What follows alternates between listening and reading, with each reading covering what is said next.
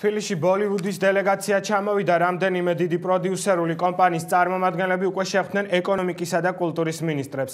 შეხვედრების მიზანი საქართველოსა და ინდოეთს შორის კინოწარმოების სფეროში მომავალი თანამშრომლობების საკითხების განხილვაა. ხუთკაციანი ჯგუფის ვიზიტი საქართველოში ერთი კვირის განმავლობაში გაგრძელდება. ვიზიტის ფარგლებში ინდური კინოს წარმომადგენლები ქართულ კოლეგებთან შეხვედრას გამართავენ. დღეს სტუმრები შემდგომი თანამშრომლობისთვის მსახიობების შერშევასაც დაიწყებენ. ინდოელი პროდიუსერი პროდიუსერები საქართველოს შესახებ ვიდეო რგოლის გადაღებასაც აპირებენ, რომლის პრეზენტაციაც ინდური კინოინდუსტრიის წრეებსა და ტელევიზიებში იქნება შესაძლებელი. კულტურის სამინისტროსთან ერთად ჩვენი გეგმა არის, რომ მივცეთ საშუალება ადგილობრივ ოპერატორებს, თქვა, ყველას, ვინც მუშაობს ფილმ ინდუსტრიაში, უფრო მეტად დასაქმდნენ. აინტერესებთ საქართველოს როგორც გადასაღები მოედანი, თანამშრომლობის ასეთი ადგილი, სადაც ისინი გადაიღებენ ფილმებს.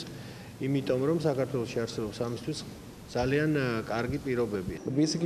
ჩვენ აქ ვიმყოფებით იმისათვის, რომ მივიღოთ საქართველოს ეკონომიკისა და კულტურის სამინისტროების დახმარება. გადავიღებთ თუ არა ფილმს საქართველოსში დამოკიდებულია იმაზე, იქნება თუ არა საინტერესო ადგილები ფილმისთვის. საერთოდ საქართველოს ბევრი ასეთი ადგილი აქვს. აქ არის სანაპირო, მთები და ტყეები.